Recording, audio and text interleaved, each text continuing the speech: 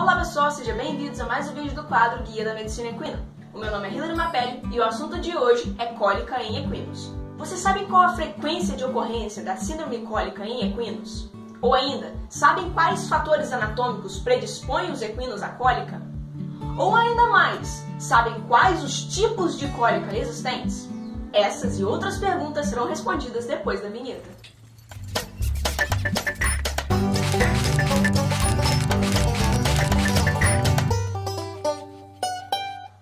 Começarmos o conteúdo desse vídeo, não se esqueça de curtir o vídeo, se inscrever no canal, ativar o sininho para não perder nenhuma notificação e comentar aqui embaixo os assuntos que vocês querem ver no quadro. Agora, sem mais delongas, vamos para o vídeo. Entre as causas de cólica em equinos estão altos teores de fibras na dieta, mudanças bruscas na alimentação ou ainda excessos de carboidrato além de alimentos estragados, rações em pó e também regime intensivo de estabulação pode ser uma causa para a cólica equina. Para sabermos mais sobre a anatomia do intestino equino e os fatores predisponentes da cólica em equinos, vamos até o Laboratório de Anatomia Veterinária do Complexo de Clínicas Veterinárias do Unilavras. O complexo está localizado no bairro Água Limpa, no município de Lavras. A síndrome cólica afecção muito comum em equinos e é uma das principais causas de estresse e gastos de proprietários. Os episódios de cólica normalmente têm melhora com o tratamento clínico, porém, de 7 a 10% dos casos necessitam de intervenção cirúrgica ou serão fatais. Nesse vídeo, focaremos nas cólicas com origem intestinal. Agora, nós vamos falar sobre a anatomia do intestino equino. Esse aqui é o duodeno do animal, a parte do intestino que se liga no estômago. O equino possui um intestino delgado muito longo. A maior parte dele é o jejum. Depois do jejum, nós temos o íleo. O íleo se liga ao seco na junção ileocecal. O íleo é a última parte do intestino delgado do animal. O seco é dividido em base, no hemisfério direito, corpo, que se dirige ventralmente, e ápice, que se dirige cranialmente. O seco possui tênias que limitam a dilatação do mesmo. Essas tênias, por sua vez, geram as saculações, chamadas de áustros. Esses áustros também acontecem no cólon ventral, pois também há presença de tênias que causam essas saculações. Saindo do seco, nós temos o cólon ventral direito, dobrando então na flexura external e chegando ao cólon ventral esquerdo. Aqui o intestino faz uma curva. Depois a gente tem a flexura pélvica, que vai então para o cólon dorsal esquerdo. O cólon dorsal esquerdo, por sua vez, é mais lisinho e sem tênias. Depois vamos para a flexura diafragmática, que tem esse nome por estar perto do diafragma. Entrando então no cólon dorsal direito, que é bem mais dilatado e também possui tênias e também áustros. Não tanto quanto no cólon ventral, mas também possui. Depois entramos no cólon transverso. O cólon transverso possui um intenso estreitamento em comparação com o cólon dorsal direito. Depois do cólon transverso, temos o cólon menor, que se dirigirá até o reto. Quanto aos fatores que predispõem o equino à cólica, como primeiro, nós temos a angulação que o esôfago entra no estômago, além também das fibras no cárdia que impossibilitam o vômito desse animal. Além disso, a flexura pélvica e o cólon transverso são dois pontos de estreitamento intenso do intestino equino, favorecendo compactações e predispondo o cavalo. Os equinos são animais monogástricos e herbívoros. Por conta disso, a fermentação do alimento não acontece no estômago, mas sim no cérebro. Portanto, quando essas bactérias estão em processo de fermentação, elas liberam muitos gases.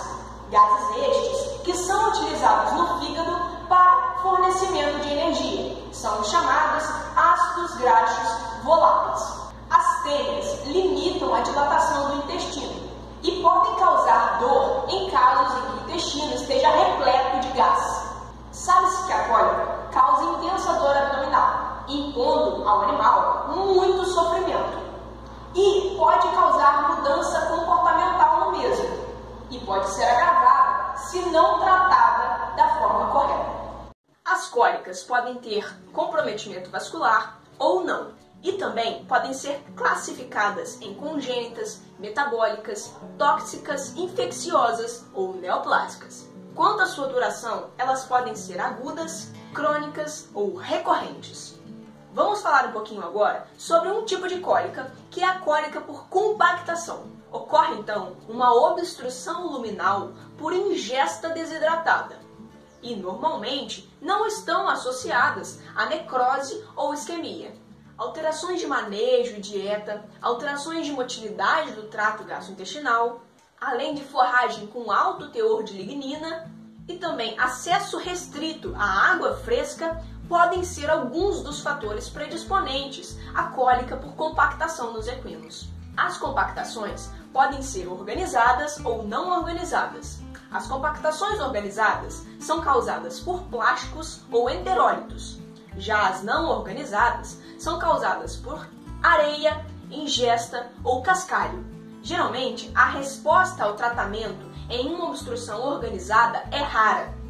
Já em obstruções não organizadas, tem uma boa resposta a esse tratamento. Algumas enfermidades que aumentam a absorção de fluido ou que inibem a secreção de fluido para o lumen intestinal podem causar as compactações. Clinicamente, o seco compactado é identificado na palpação retal por uma massa firme na região dorsal e ventral do quadrante direito do animal. Há relatos de compactações secais por pobre dentição, administração de anti-inflamatórios não esteroidais ou ainda por infestação de alguns parasitas. Ainda sobre compactação secal, é o único tipo de compactação na qual a produção fecal é contínua. O veterinário não deve assumir que a passagem de conteúdo fecal indica resolução do problema.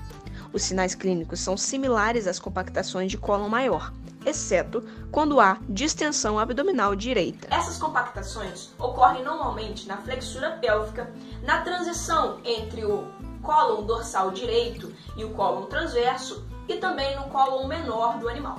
Na flexura pélvica, as compactações são identificadas através da palpação transretal por uma massa firme localizada no quadrante ventral esquerdo do abdômen caudal. Equinos com compactação nesta região podem desenvolver timpanismo secal secundário, distensão abdominal e sinais mais graves de dor abdominal. No caso de timpanismo secal, pode ser feito tiflocentese. Além disso, redução da produção fecal, fezes ressecadas e cobertas por muco e diminuição da ingestão de alimento são reconhecidos como sinais comuns das compactações de cólon maior. O aumento das concentrações de proteína no fluido peritoneal é notável, porque com o tempo a distensão e a compactação culminam em extravasamento de proteína para o endotélio vascular, atingindo então o fluido peritoneal. Quando há aumento do número de neutrófilo ou quando o fluido se torna serossanguinolento, deve haver intervenção cirúrgica. A compactação também pode ocorrer no colo menor, e o diagnóstico é através de palpação transretal e é identificada da compactação de cólon maior pela sua espessura. O acúmulo com mais de 30 centímetros de comprimento deve ser considerado compactação. O tratamento clínico inicial tem tido sucesso, mas se as compactações forem muito extensas, vão necessitar então de intervenção cirúrgica. A dor é normalmente moderada e frequentemente intermitente, e os sinais incluem olhar para o flanco, cavar, deitar e rolar. A frequência cardíaca pode estar levemente aumentada, de 40 a 60 bpm, estando relacionada à hipovolemia e grau de dor. A auscultação abdominal revela diminuição dos sons intestinais, e a motilidade progressiva quase sempre está ausente. A compactação fecal será reduzida e as fezes então serão duras, ressecadas e cobertas de muco e o diagnóstico final é geralmente identificado por palpação transretal. A radiografia abdominal pode ser usada para confirmar a compactação de intestino grosso em pequenos pôneis, equinos em miniatura e potros. O objetivo do tratamento é lubrificar e umidificar aquela massa para que o próprio intestino possa movimentá-la e diminuí-la de tamanho. Dessa forma, ela será removida pela própria motilidade gastrointestinal. O óleo mineral é comumente utilizado no tratamento das compactações. Esse óleo tem a capacidade de amolecer essa massa compacta que será retirada pela motilidade gastrointestinal normal. Ele é normalmente não absorvido e não tóxico, e isso quando utilizado nas doses corretas adotadas pelo médico veterinário. Vamos falar um pouco agora sobre um outro tipo de cólica, que é a cólica por torção. A cólica por torção é caracterizada pela posição anormal do intestino no abdômen. A torção ou vôvulo é quando acontece uma rotação do intestino ao redor dele mesmo, e é mais comum no intestino delgado. A razão de muitos deslocamentos do intestino permanece incerta, mas normalmente está relacionado a anomalias congênitas. O vôvulo no intestino consiste em torcê-lo em redor do seu mesentério. As torções por estrangulação no seco normalmente acontecem em conjunto com o colo, mas o seco também pode sofrer torções sobre si mesmo, ainda que esses casos sejam raros. O que acontece com maior frequência são torções secocólicas, quando o seco penetra o colo, e muitas vezes essas estrangulações são fatais. Apesar de não terem uma razão específica, os movimentos anormais do colo são normalmente causados por excesso de gás, pelos gases graxos voláteis.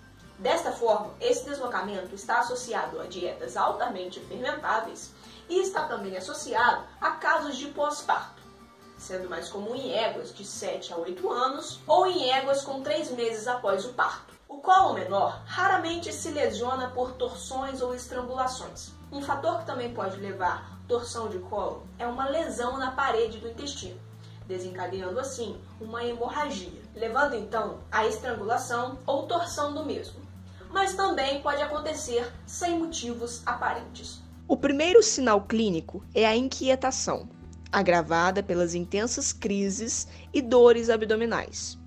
Quando isso acontece, os cavalos passam a raspar o chão em excesso, além de olhar para o flanco, deitar de costas com o intuito de aliviar a dor, além de urinarem mais vezes. Ademais, passam a adotar a posição de cavalete, podendo indicar uma sobrecarga do cólon. Já em casos de animais castrados, eles passam a expor o pênis sem urinar. Vão urinar mais vezes, mas em poucas quantidades, tendo o hábito de bater continuamente na água sem bebê-la. Para avaliar esse tipo de cólica, é necessário que o diagnóstico seja feito quanto antes, para entrar com o tratamento e ter mais sucesso. Uma boa avaliação clínica ajuda no caminho a ser tomado pelo médico veterinário responsável pelo caso, sendo esse caminho cirúrgico ou clínico. Nos casos de cólica cirúrgica, quanto antes o paciente for encaminhado para a cirurgia, maiores são as suas chances de recuperação. Uma das formas de prevenir a cólica é manter um manejo alimentar adequado para aquele animal sempre lembrando de fornecer alimento em condições adequadas, menos concentração de concentrado para que o equino possa digerir bem aquela dieta. Além disso, alia-se também a tratamentos da dentição do animal. Então é isso, pessoal. Muito obrigado por terem assistido o vídeo até aqui. Não se esqueça de curtir o vídeo, se inscrever no canal, ativar o sininho para não perder nenhuma novidade e comentar aqui embaixo os assuntos que vocês querem ver no quadro. Muito obrigada e até o próximo vídeo do quadro Guia da Medicina Equina.